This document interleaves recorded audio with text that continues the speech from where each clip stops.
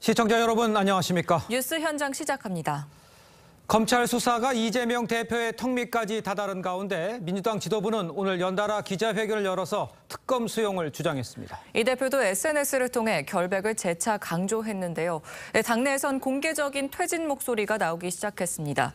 정치부 연결해서 자세히 알아보죠. 권은영 기자, 박홍근 원내대표가 방금 기자회견을 가졌는데 어떤 내용이 나왔습니까?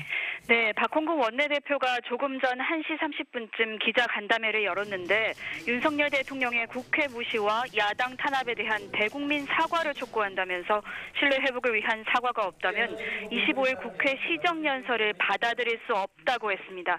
이른바 검찰공화국의 제1야당 압수수색 시도가 여전히 진행 중이라고 했지만 이 대표 수사나 특검 요구에 대해선 모두 발언에서 별도 언급이 없었습니다.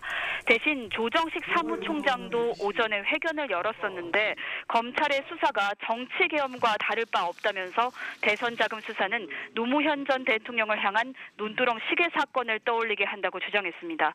윤 대통령에겐 시정연설 전까지 특검 수용에 대한 답을 달라고 요청하면서 별도 특검법을 준비할 것이란 계획도 밝혔습니다. 앞서 이재명 대표는 오늘 낮 12시쯤 대선 자금 진실 게임 3이라는 제목의 글을 SNS에 게재했습니다. 지난 20일부터 같은 제목의 글을 잇따라 올리고 있는데 김만배 씨가 과거 공산당을 거론하며 이재명 대표를 겨냥해 거친 표현을 쓴 보도와 함께 사업이 다 끝난 후 원수 같았을 이재명의 대선 자금을 줬을까요? 라고 했습니다. 자, 어, 야권에서는 처음으로 이 대표 퇴진 주장도 나왔죠. 네, 야권 소장파로 알려진 김혜영 전 최고위원이 SNS를 통해 어제 이 대표를 향해 이제 역사의 무대에서 내려와 달라고 공개적으로 요구했습니다.